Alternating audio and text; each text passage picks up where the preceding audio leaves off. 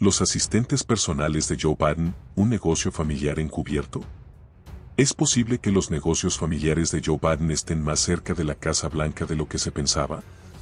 Las nuevas revelaciones sugieren un complejo entramado de roles superpuestos que podrían complicar los esfuerzos del presidente por distanciarse de las actividades comerciales de sus familiares. Durante décadas, Joe Biden ha compartido profesionales clave con su hijo, Hunter, y su hermano, Jim. Desde contadores hasta abogados personales, estos mismos asesores han manejado tanto los asuntos personales del presidente como los negocios de sus familiares. ¿Cuán éticamente viable es esta práctica?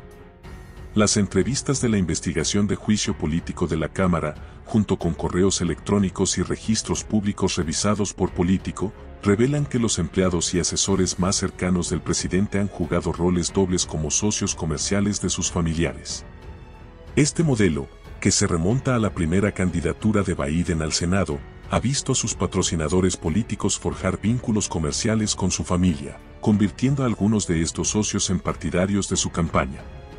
Un caso notable es el del exjefe del servicio secreto de Biden, Del Popelo, contratado por Jim Biden para investigar a un ejecutivo chino con quien Hunter Biden estaba haciendo negocios.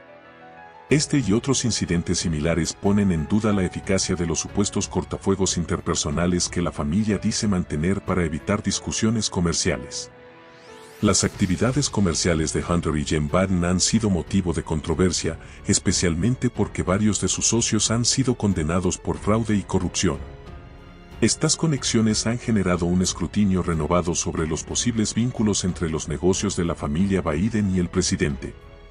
La participación de personas como Eric Schwerin, ex socio de Hunter Biden, y Frank Person, asistente cercano de Joe Biden durante su vicepresidencia, en los negocios de la familia añade otra capa de complejidad. Webbing, por ejemplo, administró tanto las finanzas personales de Joe Biden como las implicaciones fiscales de los negocios internacionales de Hunter, mientras que Person buscó cerrar acuerdos comerciales en China tras dejar la Casa Blanca.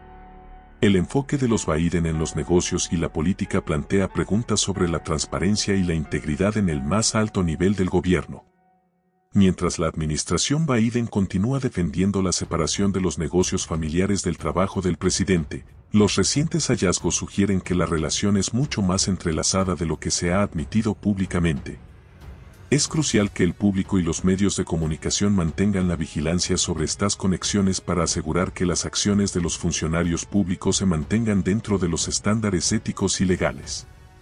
En un momento donde la confianza en las instituciones es fundamental, la claridad y la transparencia no son solo deseables, sino necesarias. El entramado de roles superpuestos y la participación de los asistentes personales de Biden en los negocios de su familia continúan generando controversia.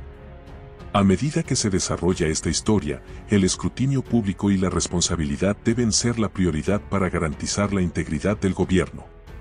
Si te ha parecido interesante esta noticia y quieres estar al tanto de futuras actualizaciones, no olvides darle like y activar la campanita de notificaciones.